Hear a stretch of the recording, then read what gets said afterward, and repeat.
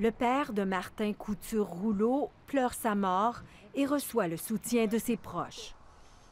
La conversion de son fils à l'islam il y a un an, mais surtout les messages publiés sur sa page Facebook et son comportement avaient commencé à inquiéter son entourage. Il était devenu difficile de comprendre le virage radical qu'a pris le jeune père de famille de 25 ans, séparé de sa conjointe.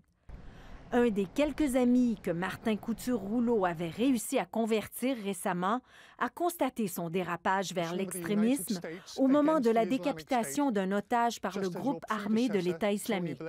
Martin essayait encore de trouver des excuses pour justifier ces gestes horribles. Les confidences que nous ont faites l'ami qui veut garder l'anonymat en disent long sur les intentions de celui qui est passé à l'acte lundi. Il nous a même offert de nous payer le voyage en Afghanistan pour faire le djihad. On a essayé de le dissuader sans succès. C'est à partir de ce moment-là qu'on a fait notre deuil de lui. On l'avait perdu.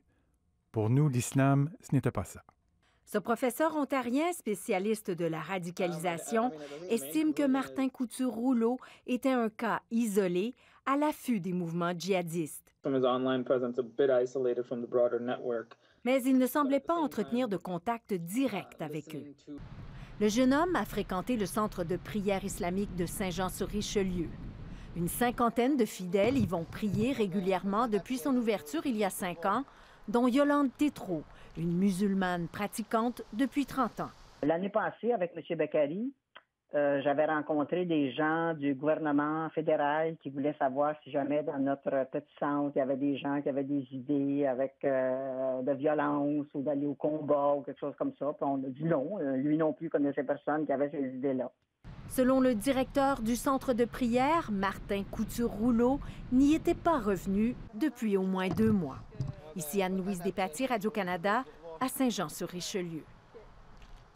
Et maintenant, je retrouve notre analyste Stéphane Berthomé. Bonsoir. Bonsoir. Alors, on sait maintenant que Martin Couture-Rouleau était surveillé. Il a même été arrêté. On lui a enlevé son passeport. On l'a revu une dernière fois le 9 octobre.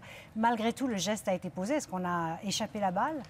Écoutez, on est en droit de se poser des questions, ça c'est évident, puisque euh, on a bien compris qu'on avait un individu qui avait des intentions très solides d'abord de se rendre euh, par la Turquie en Syrie et ensuite d'être radicalisé donc de commettre potentiellement un acte. On a vu aussi qu'il avait radicalisé des amis autour de lui. Donc on a quand même des éléments assez sérieux qui laissent à penser que c'est un individu d'intérêt. Euh, moi, je me demande jusqu'à quel point on a continué à le suivre et à s'intéresser à lui, puisqu'à partir du 9 octobre, effectivement, on nous dit il a fait acte de finalement de contrition. Il a dit qu'il allait euh, peut-être quitter ce milieu-là et on, l'a cru. En gros, c'est ce qu'on nous dit hein, de, cette conférence de presse de la GRC. Et là, je me dis, mais est-ce qu'après on a arrêté de le surveiller? Est-ce qu'on a continué avec des moyens techniques euh, sur, par exemple, la téléphonie ou l'internet? Ça, c'est pas clair. Euh, ça, c'est pas clair. On n'a pas de réponse là-dessus. Et je pense que ça, c'est un élément important parce que si on l'a lâché à partir du 9 octobre, oui, là, il est évident qu'on a lâché un individu dont, le cas n'était pas réglé. Est-ce qu'il y avait des signaux qui pouvaient indiquer qu'il n'était plus une menace, selon vous? Ben, D'après ce que dit la GRC dans cet entretien qui, semble-t-il, a duré assez longtemps, lui a dit qu'il voulait arrêter tout ça. Mais ce n'est pas un signal suffisamment euh, crédible. Lui n'est pas un interlocuteur suffisamment crédible quand il fait face à la police. Et je ne vois pas pourquoi on lui aurait fait confiance sur ce, sur ce point-là. Alors, est-ce que les policiers avaient des éléments qu'on n'a pas? J'en doute, puisque manifestement, ça s'est révélé être vraiment un, individu qui est allé au bout de sa démarche. Moi, je pense qu'on n'avait pas d'éléments qui laissaient penser que ça allait s'arranger outre ses propres déclarations. On ne devait pas lui faire confiance. Bon, maintenant, euh, son passeport, on lui a retiré son passeport. Est-ce que ça a pu déclencher quelque chose, une frustration, ou enfin, ça l'a obligé à rester ici?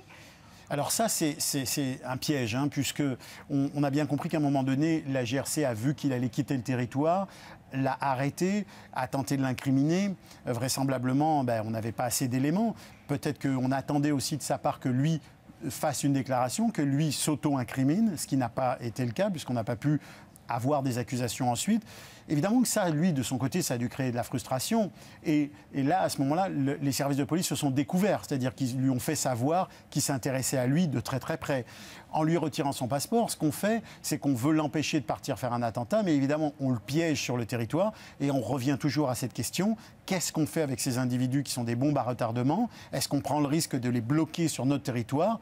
Pour qu'éventuellement ils commettent un acte comme il s'en est commis un, euh, bien c'est ça, c'est un débat qui, dépasse cette simple affaire. Par contre, j'aimerais vous entendre sur euh, ce qu'on nous a expliqué sur cette espèce de déprogrammation qu'on a tenté de faire avec lui, de déradicalisation.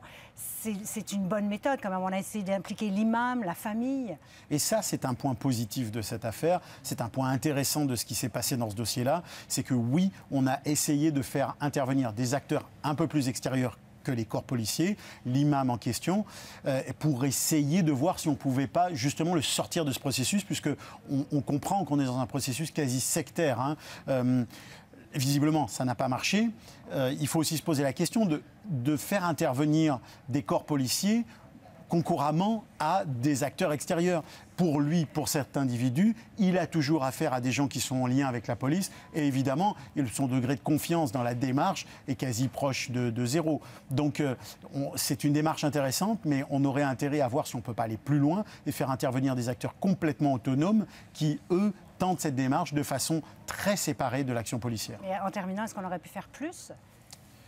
Bah, écoutez, moi j'aimerais savoir ce qu'on a fait après le 9 octobre. Et ce qu'on a fait après le 9 octobre, à mon avis, c'est fondamental sur la suite de ce dossier-là. Super Tomé, merci beaucoup. Merci.